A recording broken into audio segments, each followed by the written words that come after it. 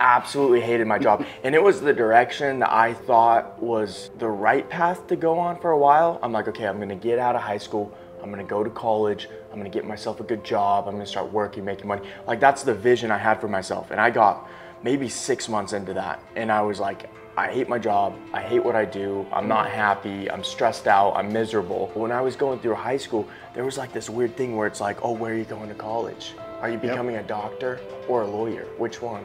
And it, there was like this hard push for education, and education's good, but I saw that as like the only option. Mm.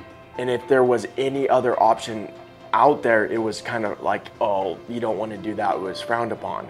So I wish when I was in high school, I could have saw someone who was like maybe an electrical contractor or an electrician or any kind of skilled tradesman and would have been like, hey, look, and like told me, painted a picture for me. Like you don't have to do an eight-year degree in college. You can go to trade school. You can get a job. You go find someone who's like extremely skilled and work with them and, and have them be a mentor, be an apprentice to them.